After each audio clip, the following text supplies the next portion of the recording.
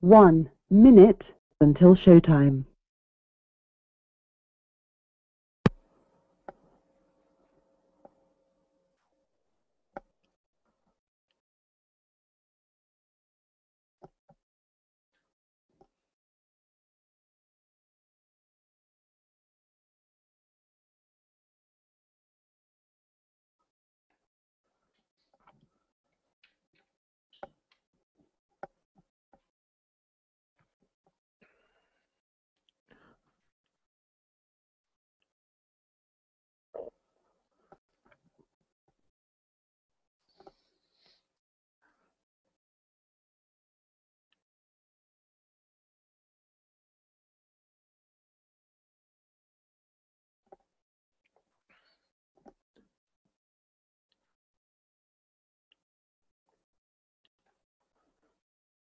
Your show will go live in five seconds. Four, three, two, one.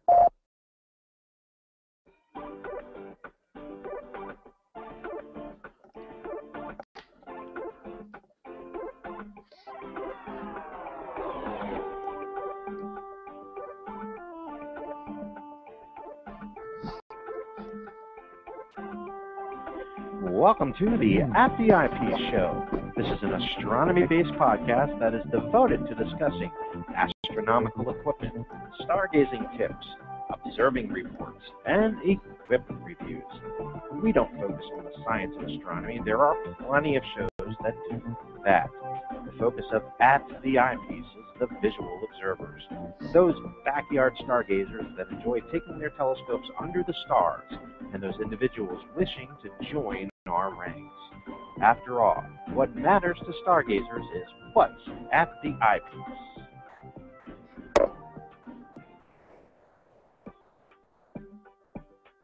And good evening out there once again, my fellow backyard stargazers, and welcome to this episode. This is At the Eyepiece, episode number 75 for May 5th, 2013. I'm your host, John Kramer, going to be on here with you for the next 30 minutes or so, thereabouts, as we go ahead and talk about some interesting topics. At least I thought they were going to be interesting for this particular episode tonight.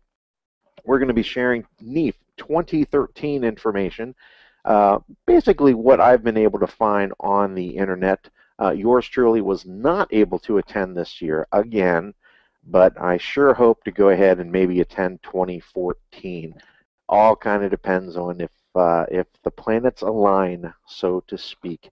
Uh, certainly this year, uh, things kind of worked against me. Very late, uh, close to NEAF 2013, but um, we do have a lot of great material that I have found online from different forums and a number of great uploads from folks out there that did attend the event personally uploaded to Facebook or uh, and YouTube in particular, we'll go ahead and we'll be sharing that information with you.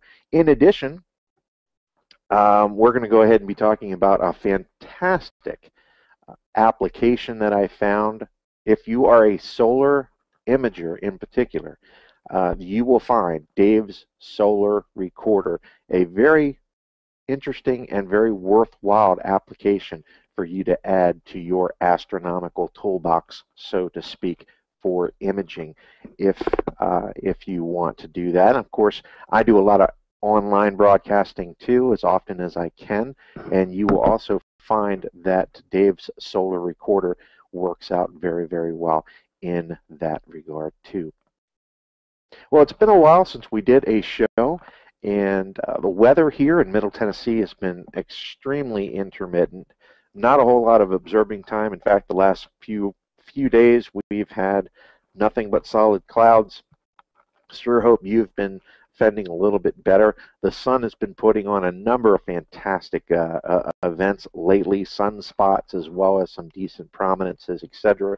Uh, we'll be kind of, if time permits, we'll go ahead and share a little bit on those uh, as time permits near the end of the show. So I hope you have the opportunity to get out and to observe. And of course, uh, if you're into deep sky this time of year, uh, I do have a great website for you to go to, a YouTube channel from a friend of mine that uh, you will go ahead and find some great information uh, on galaxies, which right now is probably one of the best objects for you to go ahead and, and observe out there in the uh, May night sky. Also, sure hope you had the opportunity to catch the meteor shower too that happened uh, uh, yesterday and uh, probably a little bit trailing into this evening as well. Uh, again, I have not been able to go ahead and get that observing done. Uh, usually nighttime observing's been out. So uh, good luck to you. Hopefully you have some better better luck and some clear skies for that. So let's go ahead and get on to our NEAF 2013 coverage. By the way, I am doing the show live here on Blog Talk Radio. In addition, I am also doing this live from the Google Plus Hangout, and it will be a video posted up later on here on my personal John Kramer YouTube channel, as well as the official YouTube channel for At the Eyepiece, appropriately named At the Eyepiece. So I certainly hope that you go ahead and uh, subscribe to either either or really. I would probably recommend subscribing to at the eyepiece, uh, only because I try to duplicate everything there as well. And since that's the official page uh, for the show, it's a little bit more appropriate. So you get to see everything that I'm talking about here, as well as those individuals that are listening live on the podcast or later on through podcast services such as iTunes, which we are on, by the way. And if you listen to the show and you like it and you do have an iTunes account, please go ahead. Feel free to go ahead and leave a uh, recommendation or rating on that as well. I would really appreciate that. Of course, if you have, you have if you have any other feedback too, we're always welcome to go ahead and receive that too. Just so, simply uh, send an email to at the eyepiece at gmail.com. So, NEAF 2013 is officially done and in the books. Uh, of course, this occurred on April uh, of this past month, uh, or last month rather, and initially, from what I was viewing online and my initial research here uh, from a lot of the forums that I try to go ahead to, initial reports at least were coming in very mixed. In fact, I would probably say for the first maybe few days at least, there was a number of reports that talked about how there really seemed to be lower numbers overall at this year's NEAF. So that was a little bit disappointing. However, now that we are up to May 5th here and more people have been able to chime in, it certainly seems that the now the majority of reports coming in for NEAF 2013 has been more on the positive side. Uh, very good numbers. Uh, in fact, here is uh, one of the quotes here from Al Nagler. You know, Nagler eyepieces there, TeleVue. Yes, he was there, of course, with TeleVue and a number of things we'll get on here on the show. His uh, He's providing now, or TeleVue is providing the optics now for the new Skylight Instruments 4-inch f13 long focal length refractor, which was a beauty at NEAF 2013. And uh, this was a more or less a, a, post from a fellow backyard stargazer that did attend NEAF 2013 and is really answering some of the uh, some of the original posts from individuals that said uh, that attendance was a bit thin this year. And this is a quote that I'm reading directly from Al Nagler. FYI, TeleVue dealers did very well in sales at NEAF 2013, with some reporting best ever results. First, biggest kudos to the team. That's the Rockland Astronomy Club and those individuals that go ahead and coordinate NEAF. It was a joy to participate this year. I'm only sorry I didn't have time to get around and say hello to all the vendors. I suggest we send an appropriate thank you email to all vendors. And that was from Al Nagler, Chairman and CEO of TeleVue Optics. So, of course, that is very, very encouraging um, from this year, too. Now, best ever sales results, that's good. I would say it's probably safe to say, in my opinion, this year's NEAF was there wasn't a whole lot of buzz for new equipment. Uh, and certainly there was a number of large manufacturers and really very prevalent people that usually participate in NEAF over the years that were absent. In particular, I'll just read off a few here that were absent from this year's NEAF that I thought was pretty significant.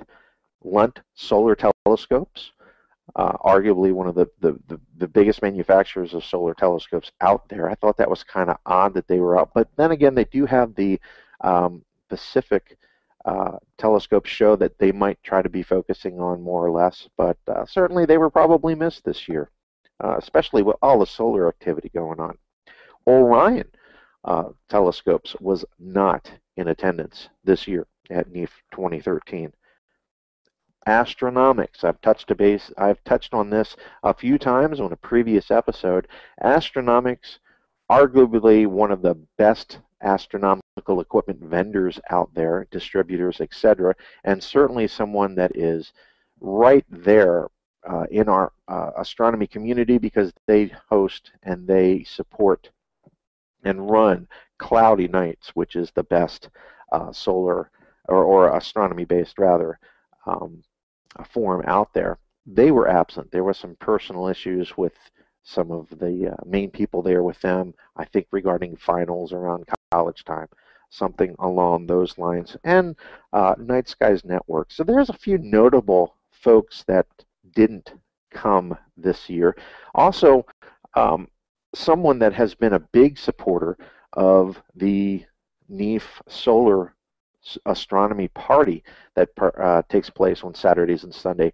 Stephen Ramsden with the Charlie Bates Solar Astronomy Project did not make it either this year up there to uh, to NEAF 2013. So I'm sure a lot of people, uh, even though from some of the pictures that you'll see here shortly too, uh, there was a, a, decent amount of scopes out there still uh, at the Solar um, Astronomy Star Party.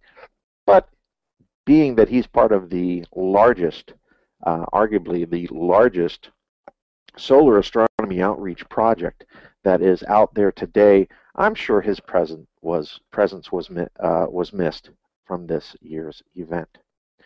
But um, you know, if you want to find out some more information for yourself, you know, Sky and Telescope here, I have it up on the screen now for our YouTube viewers and YouTube uh, YouTube guests on the Google Plus Hangout.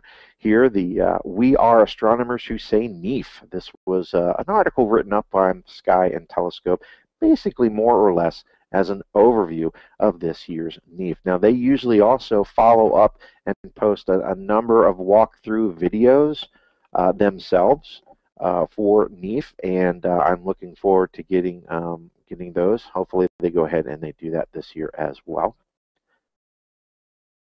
Now, if you're wanting to find information for yourself on a number of the topics that we're being, uh, going to be talking here on NEAF, uh, as I've kind of touched on before, cloudynights.com, and they have a specialty forum dedicated to only talking about NEAF itself. And that's where I've gotten a lot of the information that I'm going to be covering from this evening, as well as some of the online research that I've been able to do.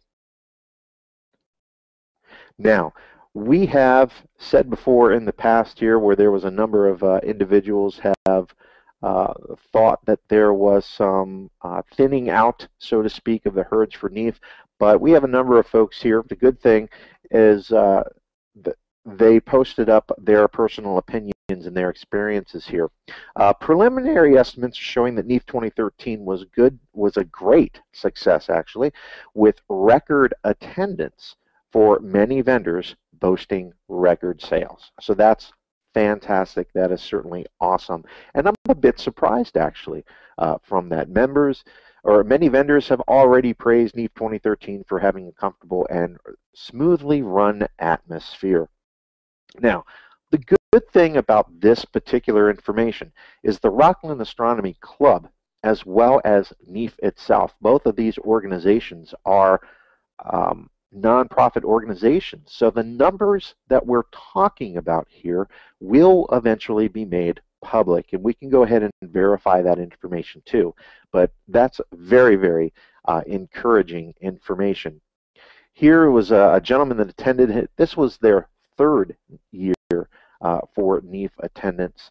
And what he had brought out was that there was a little bit lack of some of the vendors, as I noted earlier. Uh, he also mentioned, in particular, Explorer Scientific uh, seemed to have more or less a very toned down atmosphere at their booth.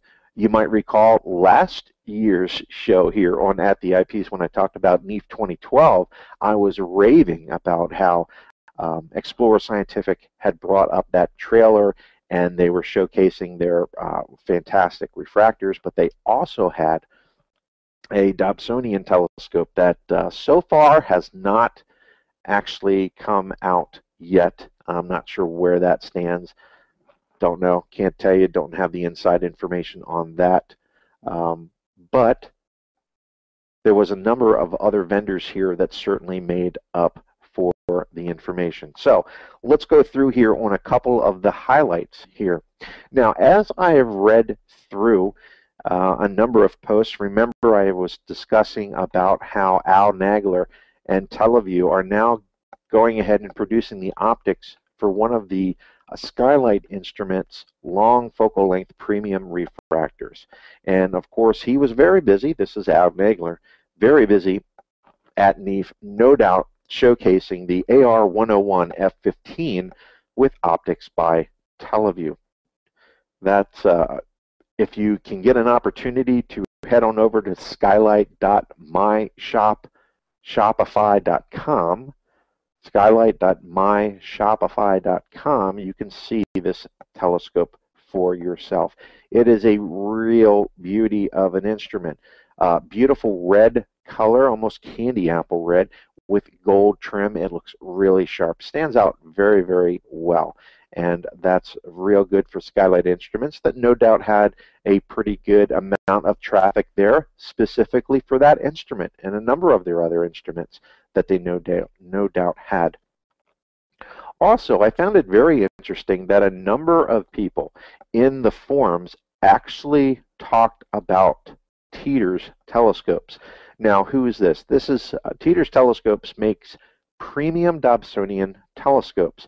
One of the highlights from the show was a discussion on a brand new uh, telescope from Teeter. It's basically a 10-inch travel scope. And I think we also here have a video online here. Uh, you'll have to go ahead, if you go to uh, uh, YouTube and you look up Dan Landis, by the way, those of you who are listening to the podcast can't see some of the video that I'm going to be sharing next here on the Google Plus Hangout. Uh, but if you head there to that, you'll be able to go ahead and see this wonderful custom-made 10-inch travel telescope by Teeter. He also came out with a, a, a, number of other instruments. He has a very, very broad range uh, of instruments. And oh, let me let me back up just one bit. Dan Landis, his channel, uh, he has a lot of great videos here that I'm going to be referencing from NEAF 2013. So he's one of the individuals that you really have to go ahead and thank for posting up these videos from NEAF. So Dan, if you ever listen to the show here, I want to personally say thank you. Uh, the videos are great and uh, well uh, put together and are very clear and really showcase a lot of the instruments that we're going to go ahead and be talking about. So Teeter's telescopes, they came out with a, a few uh, different instruments and just hopping on over to his page, you know, he has solid tube series, which are more, uh, uh, you know, as the name implies, custom Dobsonian instruments in a solid tube, classic ones. He also has sub F4 uh, instruments. Uh, these are, by the way, very popular today, and uh, he does very, very beautiful work. So hats off to him. Um, the 10 inch, by the way, F 5 travel telescope is called the TT Journey, and he is also coming out with a bare bones instrument called the TT Stark. Not a whole lot of information on that, but if you go on over to teeterstelescopes.com for yourself, you'll be able to find out more information. So uh, hats off to him for getting a number of people uh, different people on the forums mentioning how well his instruments looked and how well of a presence he had over there at NEAF 2013. Another one is Waite Research. Uh, this individual produces, again, custom Dobsonians, but large custom Dobsonians. And uh, if you head on over to waiteresearch.com, that's W-A-I-T-E research, you'll see what he brought to NEAF, which is no doubt getting a, a good some good thoughts and reviews out there. A 20-inch F3 instrument. Looking at the instrument, uh, really, it, it's it's awesome to have a 20-inch instrument. No longer do you have to climb up a ladder in the middle of the night to get the views that you're looking for. This is a 20-inch F3. It is, I don't know how how big Mr. Waite is here, but uh, it's certainly the eyepiece looks to be very, very low. Certainly you don't need a ladder probably to go ahead and look through it. So that would be a spectacular experience to take a look through a 20-inch F3 instrument. So him and Teeter are are uh, two premium Newtonian uh, or premium uh, Dobsonian manufacturers that are coming out with some great things uh, from NEAF this year. Another one that deserves some mention uh, that was from the forums is, again, we're back to another premium Dobsonian manufacturer, New Moon Telescopes. Uh, really sharp looking instruments, and again, very, very popular are the larger uh, aperture scopes with much, much faster optics. The reason that we're able, they're able to do that is uh, simply the, the quality of the instruments that are being able to, to make those mirrors. They're being made lighter nowadays, and they have some other ways of making the coma correction, such as the TeleVue Paracorr, that really make these instruments something that every amateur can go ahead and enjoy. So hats off to all of these manufacturers.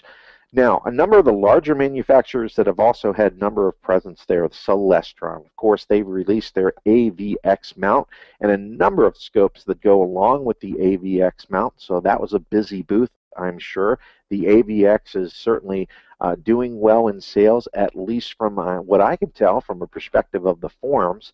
Uh, there was a number of AVXs, however, that I see with hand controller problems, but it seems to be that Celestron is, is making good on their service and getting those hand controllers replaced. Very few I've seen had to actually get the whole mount shipped back to Celestron, but just wanted to share that there with that. Of course, Meade brought their LX600 series. No doubt their new upgraded, fixed, updated, whatever way you want to go ahead and put it, LX850s out there. I sure wish that they would go ahead and get a lot more social media buzz going on these instruments, though. Uh, put some videos up, guys. Put something out there to show these instruments in real world uh, usage and getting used, please. Uh, and we've also talked about before on the show Ioptron. Now, uh, if you go to Ioptron's website or uh, actually YouTube channel, you will go ahead and see the mount in action here. And for those of you that are on the Google Plus Hangout right now or are able to catch that video later on, we are sharing that right now. Really a very innovative design. I've talked about it before. It was really pretty cool.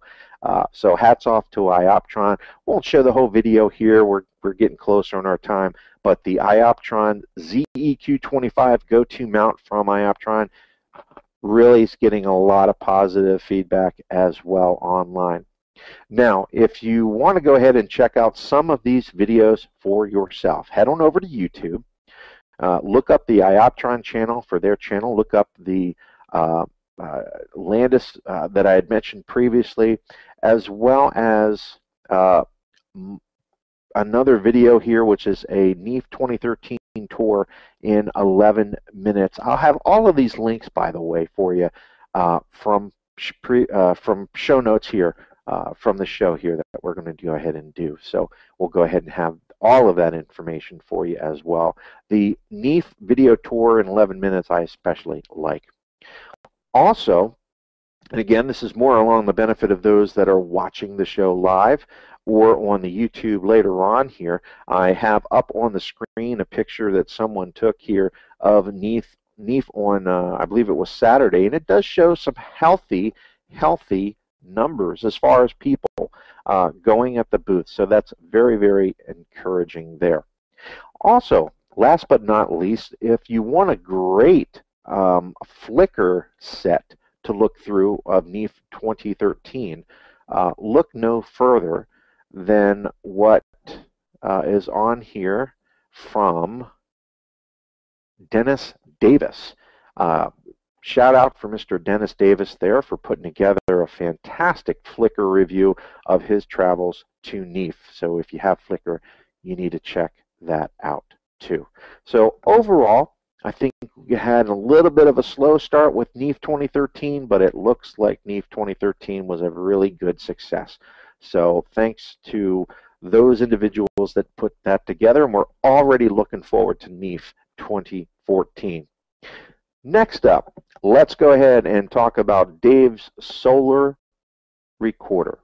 Now, uh, those of you that know, I recently picked up uh, a Coronado SolarMax 60 and an imaging source DMK21. This is a monochrome camera. Now, the reason that you want monochrome is simply because all of the pixels that are in that camera are dedicated to the resolution of what you're trying to image. With the sun and HA, you're only getting one you're, you're only getting one color anyway so all the resolution is there but when you're trying to go ahead and share those views with others particularly during outreach the black and white images the monochrome images they don't get the reaction as does true color images something that you can fix up you know they want to see that and that's one of the biggest things, and that's one of the biggest reasons I really looked online for something. Because when I'm on either Night Skies Network or the Google Plus Hangouts, it really does get people to go, wow, I think a little bit more when they're seeing it in a colorized fashion. I had stumbled across this uh, particular website from starrydave.com, found his Dave Solar recorder, and it is exactly the product that I was looking for. This thing is really quite neat. In a nutshell, what it does is if it if you have a monochrome camera, that's black and white basically, right? It can go ahead and take multiple streams of that video. And if you are familiar with hydrogen alpha, keep with me here. You have to have a certain exposure in hydrogen alpha imaging of the sun to catch surface detail filaments, uh, facula, what, whatever it is, spokes, whatever it is on the surface of the sun itself. You have to keep a certain exposure with a certain amount of uh, gamma, etc. for that. To catch the prominences is a completely different exposure. So a lot of times you have to show surface detail and then you have to change the exposure to see uh, prominence detail, but never combine them in the two. Well, guess what?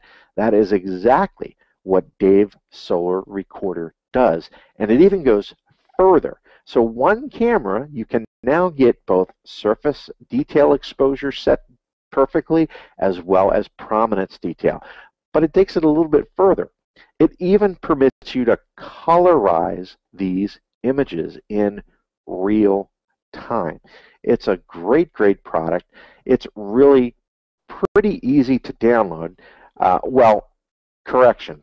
It, you, you need a little help with finding the proper download here. So if you go to Dave's Solar Recorder, if you go to starrydave.com, S-T-A-R-R-Y Dave.com, and you look for his Dave's Solar Recorder, you're going to see a link there near the top of the page that says User Manual including instructions If you click on that, the link to actually download the product is in this PDF. You have to scroll down a little bit. This looks to be page three of that, and there is a clearly marked download the zipped DSR package here. That'll actually get you the product on the computer. I have had a number of people uh, say that you know they can't find the download link, and it took me for a moment too. Once you download it, it's very simple, executable to install. There are some prerequisites that he elaborates there on the 90 site. Seconds. But once you do, uh, it's really straightforward. I don't have the, I will be doing a show on live capabilities of this product, by the way. That'll be a YouTube pre-recorded type of thing. Uh, but for this particular uh, podcast and live episode here, uh, I'm just able to show some of the screens. Now, one of the, uh, as I mentioned, the cool factor about Dave Solar System Recorder or Dave Solar Recorder is that it has the ability to colorize the images. seconds. And it's not just one color. You have a great variety of color that you can choose. One of my favorites is a yellowish sun with a bluish background. That really, to me, gives the best view. And what's great is I can save those settings and then pick the default settings, the settings that I just saved, like I name it yellow with blue background. And then I also have another background that's a big favorite of mine because I just think it looks really cool, is a very, very deep orange sun with a black background.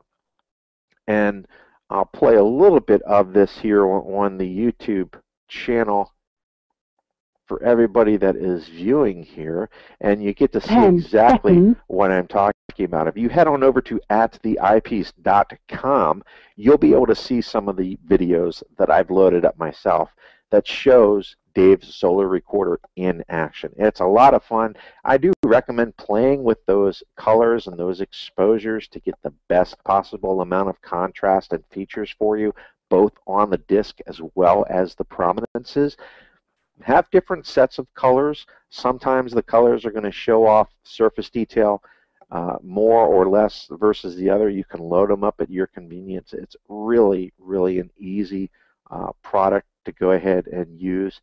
Uh, it only has a you know it only has a certain number of features settings capture and post processing not sure what post processing is i really haven't messed with that but the view permits you to go ahead and you can capture and record, by the way, in AVI, your raw monochrome files. If you prefer raw monochrome, that's absolutely fine.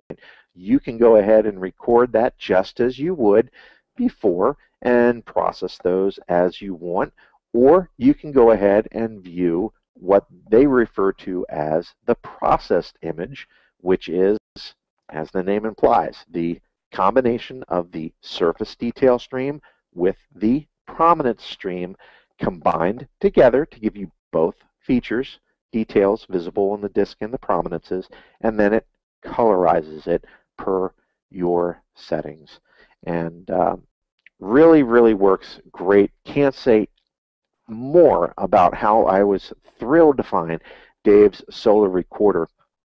And for outreach in particular, it really works great. If you want to see it in action, if you want to see what some of the processed images uh, came out as, or I should say the processed live images came out as, go right on over to the YouTube and go look up at the eyepiece. You'll see, uh, in particular, I'm showing online now, solar hydrogen alpha activity for April 10th, 2013. Really does show off the capabilities of Dave's solar recorder. Now, there's also a number of other software products that he has there.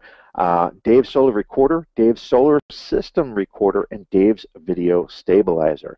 Yours truly, whenever I can get some clear skies, hopes to use the Dave Solar System Recorder to record some Saturn and give you some feedback on that as well, as well as looking at the Video Stabilizer. Just haven't had the opportunity.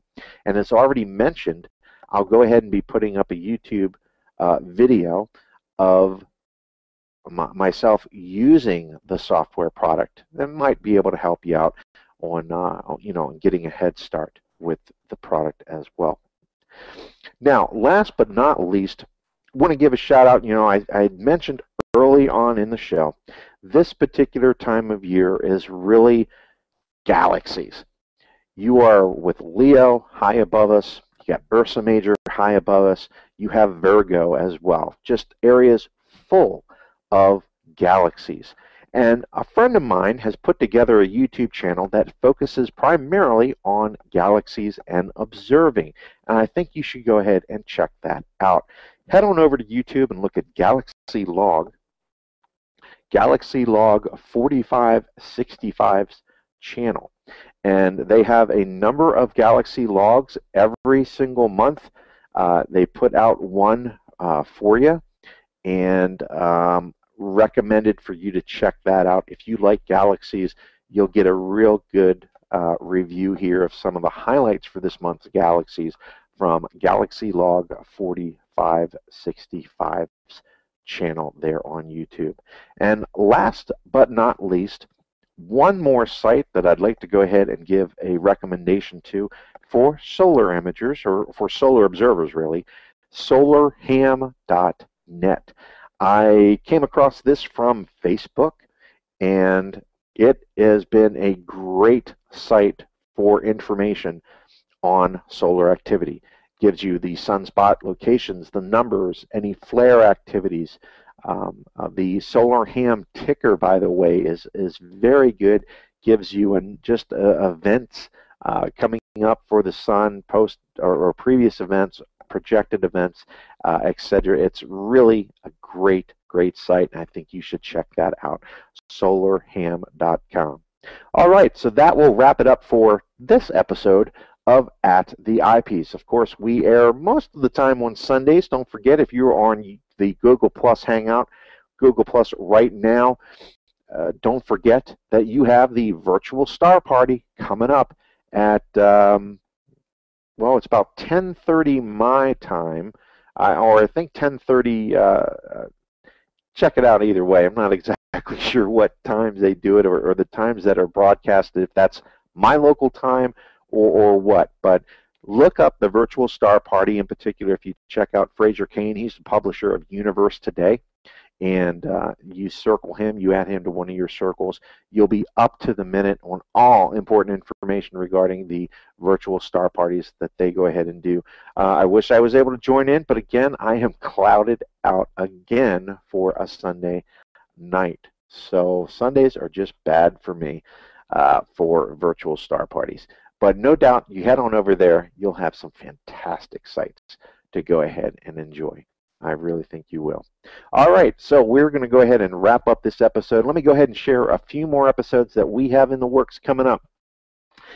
The next episode, episode 76, is going to be covering Sky Tools 3, my initial impressions on that software product, as well as I'm finally going to post up that Zhumell Zoom eyepiece review that I've talked about now three times. That's going to be coming up.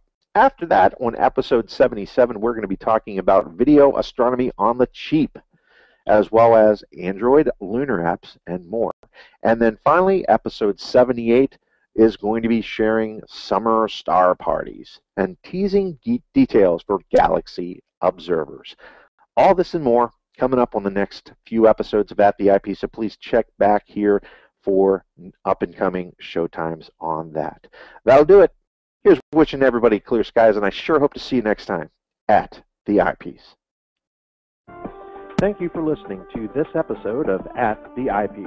If you would like to participate in a future show as a featured guest, or perhaps you have suggestions for future show topics, send me an email at the theeyepiece at gmail.com.